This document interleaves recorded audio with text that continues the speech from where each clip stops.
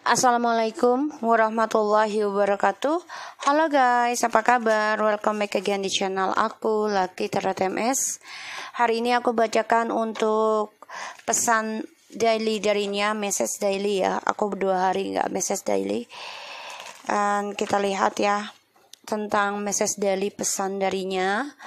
Dan kita baca doa seperti biasa menurut kepercayaan masing-masing agar apa yang kita inginkan insya Allah tercapai dan diampuni dosa kita dan diberikan yang terbaik oleh Allah.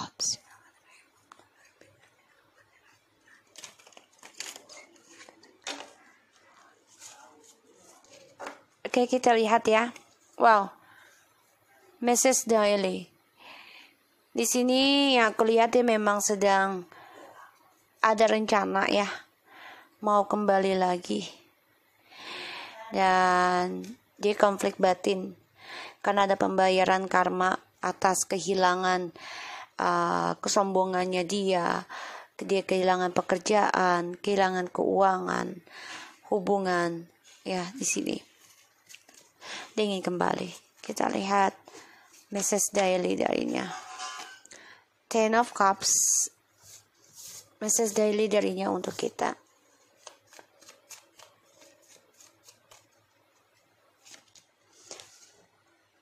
tower, the devil,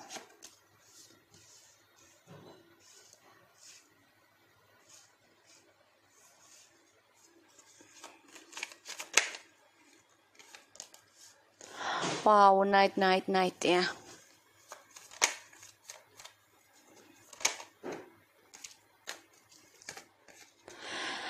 Hati-hati ya guys. Dia coba datang masih penuh dengan trik ya dia ingin kembali sih intinya seperti itu aku lihat.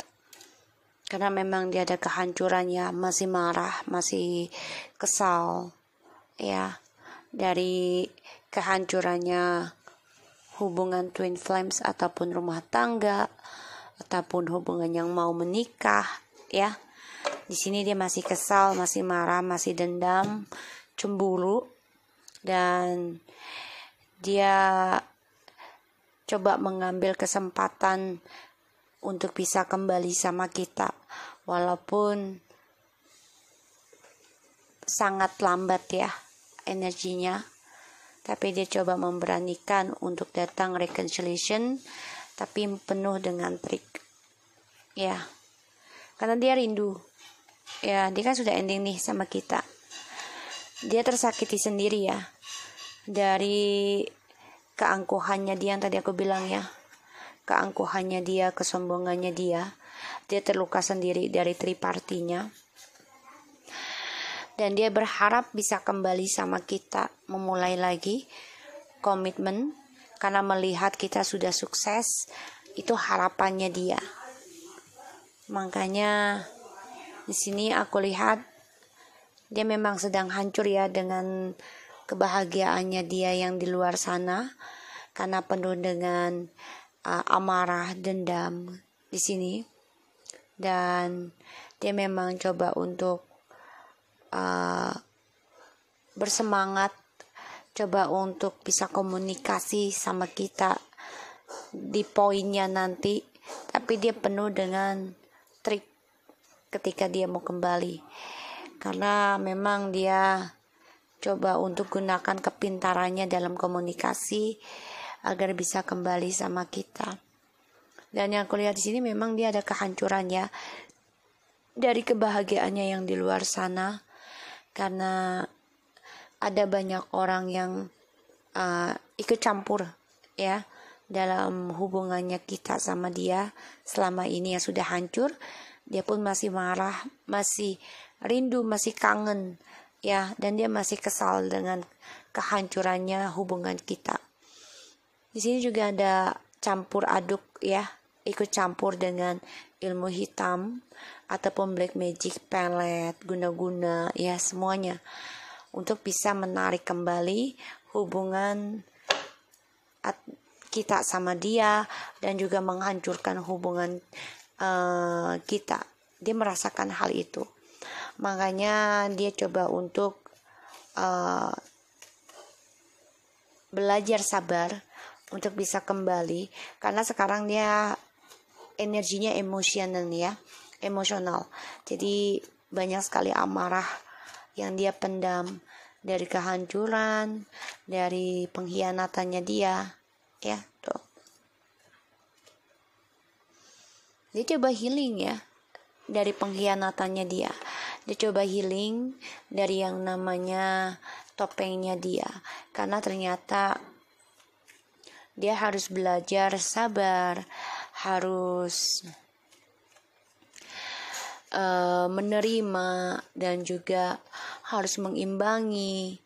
Ya di sini dia harus bisa menenangkan dirinya sendiri. Pandangan hidupnya itu dari uh, topengnya dia jadi memang dia coba untuk healing dari yang namanya uh, manipulasi.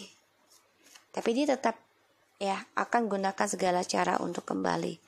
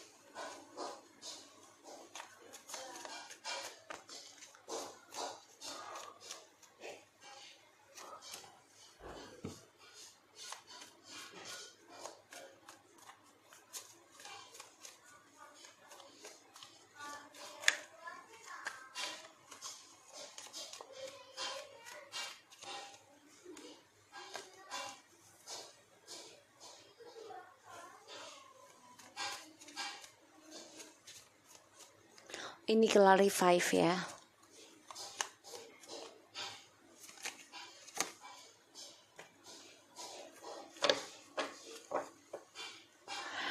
Oke, okay. like I said to you, kamu sudah ingin mengendingkan drama, ya, yang selama ini digantung oleh dia banyak sekali keraguan yang kamu hadapi bersama dia. Ya. Ada pembayaran karma ya pada dirinya yang penuh dengan keangkuhan dan dia juga karmanya belum selesai, masih menggantung. Kenapa? Karena dia ragu sendiri. Ya, jadi dia tidak seimbang dalam diamnya dia. Kenapa? Karena kita mengendingkan drama yang selama ini membuat kita terperangkap, membuat kita stres, depresi. Ya. Jadi selama kita memutuskan ya itu karmanya dia menggantung. Karena kan selama ini karmanya dia itu kita yang kita yang menolong ya, kita yang coba untuk cover dengan doa-doa kita. Ya kan? Tapi sekarang kan enggak, kita membayar karma masing-masing. So, di clarify-nya ini memang yang aku lihat ya. Dia coba untuk healing, untuk bisa kembali lagi sama kita. Inginnya seperti itu. Tapi dia memanipulasi keadaan. Dan saat ini hidup dia hancur ya, karena dia selalu banyak rahasia, dengan cara diamnya dia dan juga orang ketiga. Ya, padahal dia tuh cinta mati loh sama kita sebenarnya.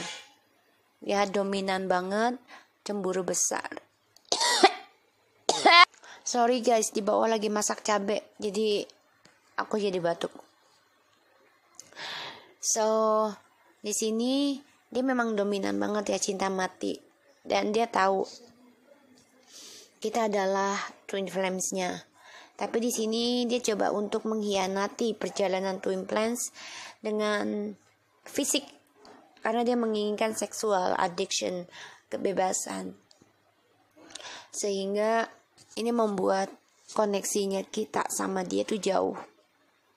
dan dia memang marah besar, kesal, ya, karena kita memutuskan koneksi twin flame ini. Dan pada akhirnya, ya akan datang kembali untuk memperbaiki, coba untuk belajar sabar dan bertanggung jawab, ya. Karena sini yang aku lihat, memang dia coba belajar tentang masa depannya lagi. Dia harus belajar setia. Ya, dia harus memulai dari nol lagi dan dia akan memberanikan diri. Karena dia merasa hubungan twin flame ini banyak sekali keberuntungan buat dia. Sehingga dia akan datang dengan penuh trik dan manipulasi. Dan yang aku lihat memang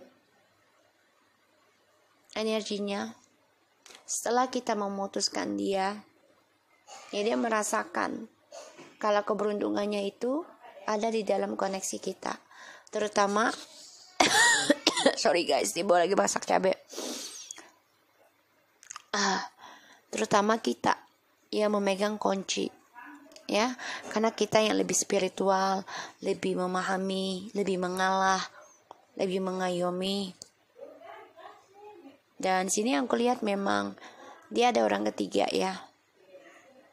Ada orang ketiga dalam hubungan ini. Karena salah satunya memang dibumbui dengan magic ya, spiritual dan juga seksual, kebebasan secara rahasia di antara mereka.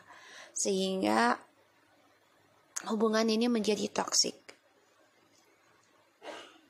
dan pada akhirnya koneksi kita sama dia terputus karena dia coba untuk memulai kehidupan baru dengan orang baru ya itu penuh dengan manipulasi trik juga. Dan sekarang dia sadari. Dia sadari coba untuk belajar mengoreksi manipulasinya dia. Coba untuk menerima. Dia dikhianati ya karena dia telah menghancurkan hubungan twin flames yang mana dia selalu ada orang ketiga di antara hubungan twin flames. Dan yang aku lihat dia coba untuk kembali lagi. Ya akan memperjuangkan hubungan twin flames ini dengan keberaniannya dia. Dan dia juga coba untuk uh, mengontrol dirinya untuk bisa datang lagi ke kita. Karena dia merasa kemenangannya itu ada sama kita. Dan dia akan memberanikan diri membayar karma. Karena sini yang kulihat memang dia coba untuk mengimbangi pengkhianatannya dia dengan topengnya dia dari adanya hubungan kita dengan orang ketiganya. Pada akhirnya ya hubungannya dia sama orang ketiganya juga hancur. Ya, ini aku lihat seperti itu. Dan akhirnya ya di dalam alam bawah sadarnya dia itu dia merindukan kita, menginginkan kita, ya, dan sangat dominan ke kita, ingin mengontrol kita lagi. Dan dia juga menggunakan, sebagian ada yang menggunakan pelet ya untuk kembali lagi sama kita, untuk menarik. Karena dia ingin memperjuangkan hubungan yang sudah putus, ya, yang sudah putus, yang sudah terlepas, dia ingin memperjuangkan kembali. Dia ingin adanya kesempatan tapi dia masih dengan ego dengan kesombongannya ya. Perlahan-perlahan dia akan datang coba belajar untuk setia belajar untuk uh, tanggung jawab kembali kepada kita. Dengan cara ya dia memberanikan diri belajar dari nol lagi. Dan dia juga belajar tentang kesetiaan dan tentang masa depannya dia dari apa yang dia tanam itu yang dia tuai. Tapi di sini dia juga ada pembayaran karma ya dari manipulasinya dia. Tapi dia juga coba untuk memanipulasi karmanya sendiri. Tapi itu nggak bakal bisa. Karena karma nggak bisa dimanipulasi. Tetap akan ada. Tapi terkikis yaitu dengan kebaikan. Ya. Ini yang aku lihat seperti itu ya di bawah alam sadarnya dia, pesannya dia. Jadi dia akan kembali sama kita. Tapi setelah kita bisa berkata tidak dan memutuskan keluar dari drama, yaitu lepas dari koneksi twin flames yang yang penuh dengan toxic ya. So aku harap ini bisa resonate buat kita semua, oh, terutama untuk dia. Sorry ya guys, aku batuk-batuk karena di bawah lagi masak cabai jadi aku kena ke hidung. So thank you so much for anybody who already watching my channel ya thank you ya. And aku harapkan semuanya baik-baik aja. Kalaupun dia jodoh kita pasti dimudahkan datang. Kalau tidak ya kita harus sadar diri gitu loh. Kalau dia tuh bukan yang terbaik buat kita ya. Mungkin tidak hari ini tapi nanti ya so guys thank you so much and bye bye